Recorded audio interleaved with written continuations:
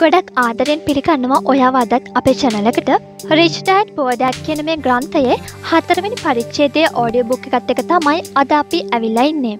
ඉතිං මතක් කරන්න ඕනි ඔයා මේ ග්‍රන්ථේ පළවෙනි දෙවැනි තුන්වෙනි පරිච්චේදවලට සවන් නොදීපු කෙනෙක් නම් පල්යාතයන ඩිස්ක්‍රපෂන් බොක්ස් එකේ ඒ පරිච්චේදවල ලිංක්ස් තියෙනවා ඔයාට පුළුවන් ඒ ලිංකලින් ගිහිල්ලා ඒ ඕඩියෝ බොක්සලට සවන් දෙන්න. ඒත් එක්කම කියන්න ඕනේ අනිවාර්යෙන්ම අපේ චැනලක සබස්ක්‍රයිබ් කරන්න ලයි කරන්න කමෙන්ට් කරන්න ඔයාගේ යාළුවන්ටත් බලන්න අනිවාර්යෙන් ෂෙයා කරන්න. හතරවන පරිච්ඡේදය තමාගේම ව්‍යාපාරයගේ දීම. එදස් නවසේ හැත්ත හතරදි ලෝක ප්‍රකට අවන්හල් දාමයක් වන මැක්ඩොනල්හි ආදී කත්රු රේක්‍රෝක්ට ඇමරිකාවේ ටෙක්සාල් සරසවියේ එම්බස් උපාධි අපේක්ෂකයන් වෙනුවෙන් කතාවක් පැවැත්වීමට ඇරයුම් ලැබුණි. බොහෝ ප්‍රබල එමෙන්ම අධිශ්ඨානශීලී දේශනයෙන් පසුව සිසුහු බොහෝ ප්‍රමෝදයට පත් වූහ. ඔහු රේගෙන් ඉල්ලා සිටියේ තමාගේ ප්‍රියතම බීරහලෙහි බීරබෝතල් කිහිපයක් බීමට පැමිණෙන්නේ නම් එය බොහෝ අගේ කරන බවකි. ඔහු එම ඇරයුම පිළිගත්තේය මං නිරත වෙලා සිටින ව්‍යාපාරය කුමක්ද. ඔහු එසේ ඇස්සුවේ සිසුන් සියල්ලන්ගේම අතෙහි බියර් වීදුරුවක් තිබියදීය. ශිෂ්‍යයන් සියල්ල සිතුවේ රේ විහිළුවක් කරන බවකි. නමුත් ඔහු එම ප්‍රශ්නයම නැවතවරක් ඇසීය. යළිත් සියල්ලෝම සිනාසුනහ. ඔබ යෙදෙන්නේ හැම්බර්ග් ව්‍යාපාරයක බව මේ ලෝකෙ කවුරුත්ම දන්නවානේ. සරසවි සිසුන් අතර සිටි එක් සිසුවෙකු පැවසීය. ඇත්තටම ඔයාල කවුරුත් මංකරන ව්‍යාපාරය දන්නේ නැහැ.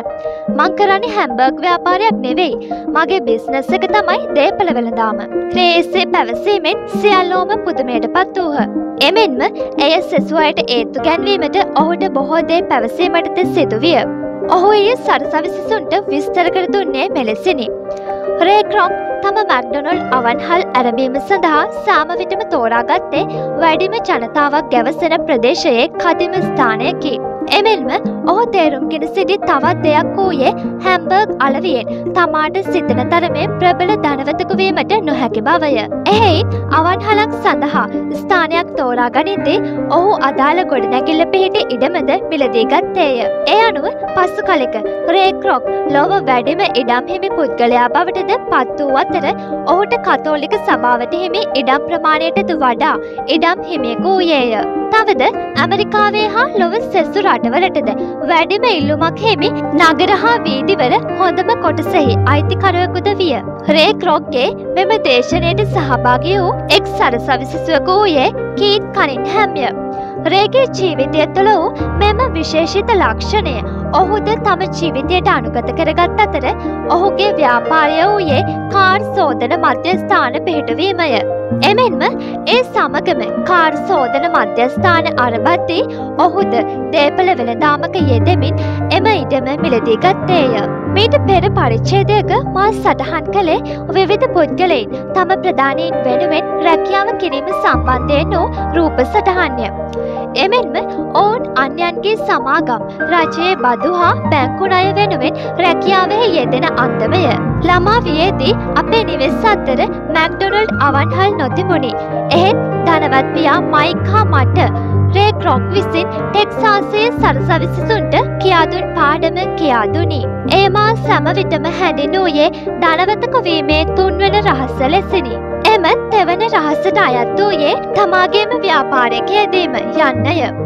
සමවිතම අප මුදල් අර්බුදයකට ලක්වන්නේ අන්‍යන් ජීවිත යහපත් කිරීමට රැකියාවෙහි යෙදීමෙනි. එසේ වූ විට දිනය අවසානයේදී ඔබට ඉතිරිවන දෙයක් නොවේ. පහත දැක්වෙන රේක්‍රොක් පැවසූදය සනාත වන අන්තමේ ආදායම් ප්‍රකාශයක හා ශේෂ පත්‍රයක විග්‍රහවන රූප සටහනකි. අපේ වර්තමාන අධ්‍යාපන ක්‍රමය සකස්ව ඇත්තේ තරුණයින්ට කදිම රැකියා ලැබීමට හා විශ්ෂයකරුණු පිළිබඳ දැනුමක් ලබාදීම ඉලක්ක කරමිනි. එහතින් සඳහන් කළ ලෙසින්ම ඔවුන් කටයුතු කරන්නේ රැකියාව පදනම් කර ගනිමිනි. විශ්‍ය දැනුම ලැබීමෙන් පසුව ඔවුන් වැඩපුර අධ්‍යාපනය ලබන්නේ ෘතිය අධ්‍යාපනයක් ලැබීමෙනි. ඇයින් පසුව ඔවුන් ඉංජිනේරුවන් වෛද්‍යවරුන් චිත්‍රශිල්පීන් ලේඛකයින් පොලිස් නිලධාරීන් ෘතීන්හි යෙදෙන අතර ඒ සියල්ලම ශ්‍රම බලකායට එක්වන්නේ මුදලට රැකියාවෙහි යෙදෙන්නන් ලෙසනි. රැකියාවක යෙදෙද්දී රැකියාව හා ව්‍යාපාරයක් අතර ඇති වෙනස වටහා ගත යුතුවේ. මට හමුවන ඇතැම් පුද්ගලයින් වෙතින් ඔය මොනවද කරන්නේ යැයි ඇසීමේ පුරුද්දක් තිබේ. බැංකුවේ ඔහු පිළිතුරු දෙයි. එකුවට අයිති එකක්ද මම විමසමි. නෑ මගේ බැංකුවේ රස්සාව කරනවා. බොහෝ අය තමාගේ රැකියාව හා ඊට අදාළ ව්‍යාපාරය සමඟ පටලවා ගැනීමට මෙය කදිම උදාහරණයකි. එනම් ෘතියෙන් බැංකුකරයකුවද ඔහුට ව්‍යාපාරයක යෙදීමේ ඌමනාවක් තිබේ. මන්ද එය ඔහුගේ රැකියාව මිසක ව්‍යාපාරය නොවේ. මෙහිදී අප යළිත් මැක්ඩොනල් අධිපති රේ ක්‍රොක් කෙරෙහි අවධානය යොමු කළහොත් ඔහු තම රැකියාව හා ව්‍යාපාරයෙහි වෙනස දැඩිව වටහාගත්තකි. මුලින්ම ඔහුගේ රැකියාව වූයේ මිල්ක් ෂේක් සඳහා මිශ්‍රණයක් අලවි කිරීමය. දෙවනව ඔහු හැම්බර්ග් සඳහා අවන්හල් ඇතිකරමින් ඒවා අලවි කළේය. නමුත් ඕගේ ව්‍යාපාරය වූයේ ආදායම් නිපදවන දේපල මිලදී ගැනීමය. අප අධ්‍යාපනය ලබද්දී උගන්වන්නේ ආහාර පිස්සීමට උගතහොත් අපට සූපවේදයකු වීමට හැකි බවයි. නීතිය හැදෑරුවොත් නීතිවේදයකු වීමට හැකි බවය. උගත්තයෙන් රැකියාවක් කරද්දී සිදුවන එක වරදක් වන්නේ තමාගේම ව්‍යාපාරයක යෙදීම ඔබට අමතකව යෑමය. එවිට ඔබ කරන්නේ යමෙකු ධනවතකු බවට පත්කිරීමට ඔහු යටතේ රැකියාවෙහි යෙදීමය. යම් පුද්ගලයකු නිවැරදිවම මූලියම සුරක්ෂිතභාවයක් ලැබීමට නම් වඩාත්ම සුදුසු දේවන්නේ තමාගේම දේක නිරතවීමය. එවිට ඔබේ ව්‍යාපාරය සමවිටම සම්බන්ධ වන්නේ ඔබේ වත්කම් සමගිනි. ඒ සමගම එය ආදායම සමගද සම්බන්ධ වේ. මෙහි මූලික වත්කම් සහ බැදීම් අතර වූ වෙනස්කම් අවබෝධ කර ගැනීමෙන් ඔබට වත්කම් මිලදී ගැනීමේ සැබෑ ස්වරූපය අවබෝධ වේ. එයින් වත්කම් මිලදී ගත යුතු ක්‍රමය ඔබට වැටහේ. මෙහිදී ඔබ විශේෂයෙන්ම අවබෝධ කරගත යුත්තේ ධනවතුන් අවධානය යොමු කරන්නේ තමාගේ වත්කම්මංශයට පිළිබඳවන අතර මධ්‍යම පාන්තිකයින් හා දෙලින්දන් අවධානය යොමු කරන්නේ ආදායම පිළිබඳවය. ධනය ලැබීමට ඔබ ඒද වටහාගත යුතුය. බොහෝ අය මගේ පඩිය වැඩි කරගන්න ඕන. මට උසස්වීමක් ලැබුණොත් හා මොකක් හරි කෝස්ස එකක් කළුත් මට මීට වඩා හොඳ රස්සාාවක් හොයාගන්න පුළුවන්. ආදී අදහස් නිබඳවම පවසන්නේ ආදායම ගැනම පමණක් සිහිනමැවීමෙනි. බොහෝ අය නිබඳවම අතිකාල සේවය යෙදීමට හෝ අලුත් රස්සා සොයමින් වෙහෙසෙන්නේද ආදායම පිළිබඳවම සිතමින් තැවීමෙනි. වැඩි ආදායමක් ලැබීම වැඩි වැටුප් ලැබෙන රැකියාවක යෙදීම හෝ උසස්වීම් ලැබීම ආදී දියුණු වෙන මිනිසකුට අවශ්‍ය දේවල්ය. එය ඇතැම් පුද්ගල සමූහයන් අතර බොහෝ සංවේදී අදහස්ය. නමුත් එවැනි පුද්ගලයෝ රේ ක්‍රෝක්ගේ අදහසට අනුව තවමත් තමාගේම දෙයක් ගැන නොසිතුව අය වෙති. මන්ද එහතෙන් දැක්වූ සියලු අදහස් මගින් හෙළිවන්නේ ඔවුන්ගේ වැඩි අවධානය ඇත්තේ ආදායම් ලැබීමට හා එය වර්ධනය කර ගැනීමට බවකි. නමුත් එසේ ලබන වැඩි මුදල ආදායම උපදවන වත්කම් වෙනුවෙන් වැය කළොත් එයින් ඔබ වැටුප්සේ ලබන මුදලට ප්‍රබල සුරක්ෂිත භාවයක් එක්වේ. බොහෝ මධ්‍යම හා නිර්ධන පාන්තිකයින් තුළ මූල්‍යමය උදාසීනත්වයක් දක්නට ලැබෙන්නේ අවදානම් සහිත මූල්‍යමය කටයුතුවල යෙදීමට පියවීමෙනි. ඔවුන් සිතන අන්තමට එවැනිදේ දරා ගැනීම තරමක් අවදානම්ය. එම හේතුවෙන්ම ඔවුන්ට මූල්‍යමය ස්ථාවරයක් හිමි නොවේ. එහෙයින් ඔවුන් තම රැකියාවෙහිම එල්ලී සිටින අතර එය වඩාත් ආරක්ෂාකාරය යැයි සිතනු ලැබේ. ලොවෙහි මිලියන ගණනින් වූ රැකියාවේ යෙදෙන්නෝ තමා පිළිබඳව සුළුකොට තැකීම් කරති. එහෙයින් ඔවුන්ගේ ජීවිතයෙහි ඇති විශාලතම වත්කම වන්නේ නිවසකට හිමිකම්කීම හා ජීවත්වීමට ආහාර ගැනීම පමණි. නමුත් ඔවුන්ගේ විශාලතම වත්කම සේසැලකෙන නිවසටද මාසිකව මුදල් වැයවේ. බොහෝ මධ්‍යම පාන්තිකයින්ගේ දෙවන වත්කම වන්නේ කාරයකි. නමුත් එයටද දිනපතාම මුදල් වැය කළ යුතු වේ. එහෙයින් ඔවුන්ගේ වත්කම් සඳහා තවතුරට මුදල් වැය කිරීම මත මූල්‍යමය අර්බුදයකට ලක්වීමට දිඩ තිබේ. තවද මෙම තත්ත්වයට ඔවුන් පත්වන්නේ වැටුප් කෙරෙහි පමණක් විශ්වාසය තැබීමෙනි. එයින් අදහස් කරෙන්නේ ඩොල දාහක් වටිනා ඔවුන්ගේ වත්කම් ඩොල දාහක් නොවටිනා භවය. එහෙයින් රැකියා සුරක්ෂිත භාවයෙන්ම අපට මූල්‍යම ස්ථාවරත්වය ලැබීමට නොහැකි බව අවබෝධ කර ගැනීමට සිදුවේ. එමෙන්ම මධ්‍යම පාන්තිකයෝ නිබඳවම බැංකුවලින් අයයිදුම් කිරීමට පෝරම පුරවති. ඒ නිවසක් හෝ කාරයක් මිලදී ගැනීමටය. බැංකුකරුවෝ අපේ ඉල්ලීමට සතුටෙන් කාරය දෙන්නේ එයින් බැංකුවට පොලිය මුදල් ලැබීමෙනි.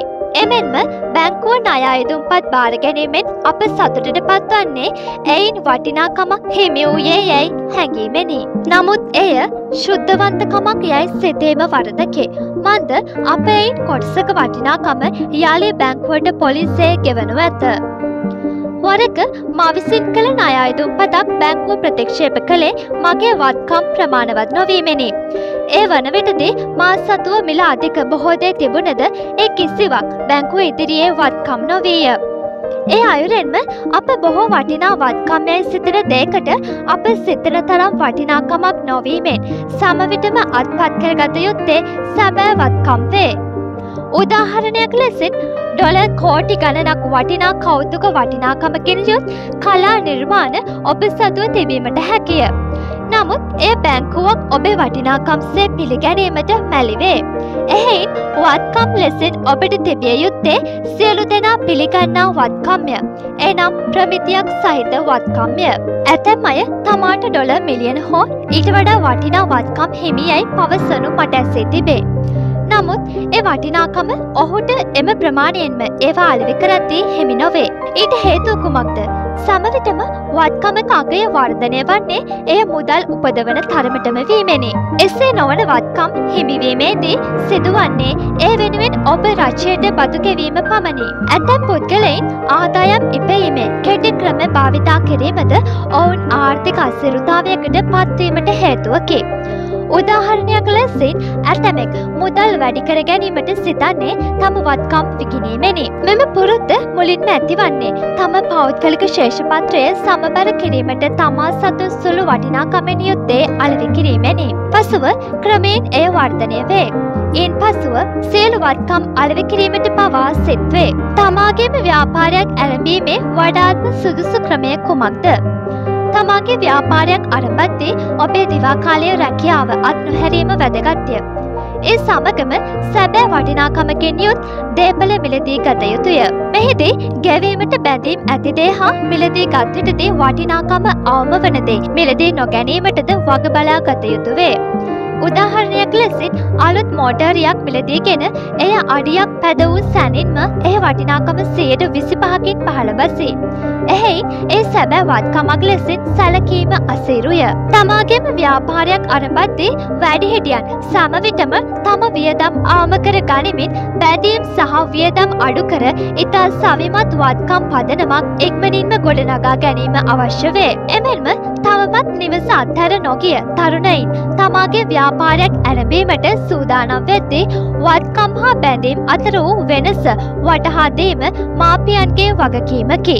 නිවැරදි මූල්‍යමය ස්ථාවරයක් ලැබීමට නම් තරුණයෙකු විවාහවීමට මාපියන්ගෙන් වෙන්වීම නිවසක් මිලදී ගැනීමට පෙර හා දරුවන් ලැබීමට පෙර තමාගේ වත්කම් ලැයිස්තුව සවිමත් කරගත යුතු වේ. එමෙන්ම සවිමත් වත්කම් ස්ථාවරයක් හෙමිවීමට පෙර ණයට යම් යම්දේ මිලදී ගැනීම හෝ අවදානම් මූල්‍යමය සමඳතාවල පැටලීම තරුණයෙකු නොකළ යුතු වේ. එමෙන්ම රැකියාව පිළිබඳව පමණට වඩා විශ්වාසය තැබීමද නුසුදුසුය. නමුත් බොහෝ තරුණ අමුසැමියන් විවාහවීමෙන් පසුව නව ජීවන රටාවකට හොරවීමත් සමගම බොහෝ වත්කම් මිලදී ගන්නේ ඒ සඳහා සිදුවන බදු ගැවීම් ගැන පවා නොසලකමිනි. එසේ යම් ජීවන රටාවකට පෙළඹීම බොහෝ තරුණ අමුසැමියන් මුළු ජීවිත කාලය පුරාම රැකියාවේ සිරකරන උකුලකට හසු කිරීමකි. එමෙන්ම බොහෝ පුද්ගලයින්ට අවසන් දරුවාද නිවසින් පිටව යන තුරුම විශ්‍රාමික දෙවියක් ගෙවීමේ සූදානමක් නැතැයි හැඟේ. එහෙයින් ඔවුන්ට තම ජීවිතයේ අවසන් කාලයේදී පවා මුදල් ගැන සිතමින් තැවීමට සිදුවේ. එයින් පසුව එම අඹුසැමියන්ගේ මාපියන් රෝගයවීම අතිරේක වගකින් හිමිවීමක් සේ ඔවුහු සලකති. එහෙයින් අප හෝ අපේ දරුවන් ජීවිත කාලයේදී රැස් කළ යුතු යැයි මා සිතන වත්කම් මොනවාදැයි පහතින් සඳහන් කරමේ. මගේ මතයට අනුව සැබෑ වත්කම් අංශ කිහිපයකින්ම ලැබීමට හැකිය. එක ව්‍යාපාර. ව්‍යාපාරයක් වත්කම අපට පත්වන්නේ එය අන්‍යන් විසින් පාලනය කරද්දේ පමණි. ඒ වෙනුවෙන් ඔබට සේවය කරන්නට සිදුවහොත් එ ව්‍යාපාරික වත්කමක් නොව රැකියාවකි. එක කොටස්. දෙක ගිවිසුම් හෝ සුරකම් පත් තුන අන්‍යෝන්‍ය ගිවිසුම්. හතර ආදායම් උපදවන දේපොල. පහ මුදල් නෝට්ටු හෝ බැංකුකිනුම්. හය සංගීතය ලේඛන කලාව හෝ පේටන් බලපත්‍රාදේ බුද්ධමය දේපලවලින් ලැබෙන මුදල්. හත්ත ඕනෑම වෙලාවක අලවි කළ හැකි හෝ මුදල් උපදවන වටිනාකමක් හෙමි ඕනෑම වත්කමක්. තරුණයකුත් සිටියදී මගේ උගත් පියා සමවිටම මා දිරිගැන්වූයේ ආරක්ෂාකාරී රැකියාවක් සොයා ගන්නා ලෙසිනි. අනෙක් පැත්තෙත් ධනවත්පියා උපදෙස් දුන්නේ මා ප්‍රිය කරන වත්කම් මිලදී ගන්නා ලෙසිනි. ඔබේට ආදරය නොකරයි නම් ඒ ගැන උනන්දු නොවන්න. ඒ සමගම ධනවත් පියා මට අවවාද කළේය. මම හෙමිහිට දේපල මිලදී ගත්තේ ගොඩනැගිලි හා ඉඩම්වලට ඇලුම් කළ හෙයිනි. ඒවාට යම් යම්දේ මිලදී ගැනීමට යෑමට මම ප්‍රිය කළෙමි. ඊට අමතරව දවස පුරාම එදෙස බලා සිටීමට හැකිවීමද එයට ප්‍රිය කිරීමට හේතුවකි. ඒවායේ ගැටලු මතෝ විටදී ඒවා ගැටලු නොවූයේ මා සැබවින්ම ඒට ආදරය කළ හෙයිනි. එහෙත් ඉඩම් හා ගොඩනැගිලිවලට ප්‍රිය නොකරන්නෙකු ඒවා මිලදී නොගත යුතුය. එමෙන්ම කුඩා සමාගම්හේ කොටස් මිලදී ගැනීමටද මම ප්‍රිය කළෙමි.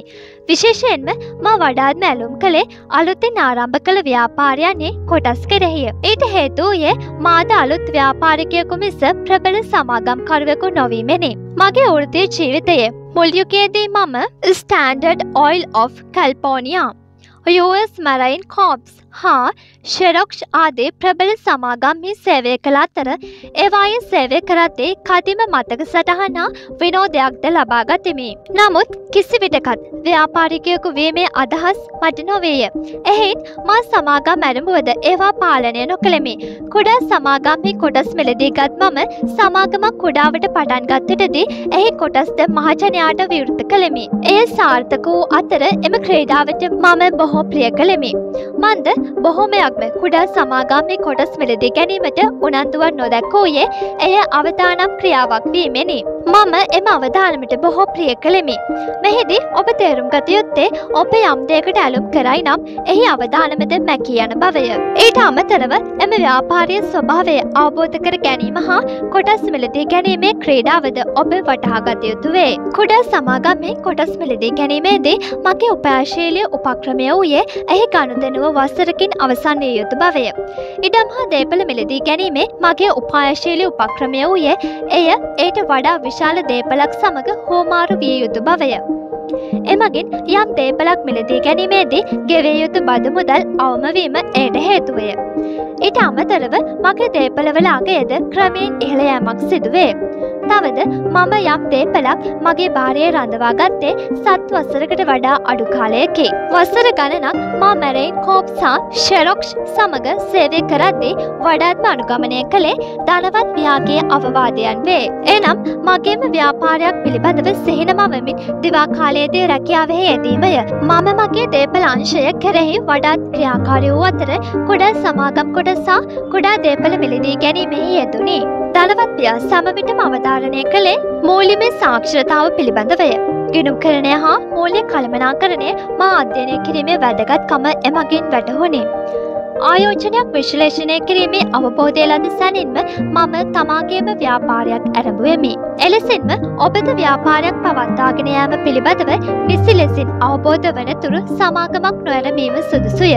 මන්ද සමහර අවස්ථාවලදී සමාගම් අරඹන අයට ඊට ගැලපෙන සේවකයින් සොයා ගැනීමටද අසිරුවේ. නමුත් ඒ ව්‍යාපාරයක ගැටලු දෙස බලද්දී සුළු දෙකි. අලුතින් අරඹන ව්‍යාපාර සීයට අනුවක්ම පළමු වසර පහතුරදී අසාර්ථක වේ.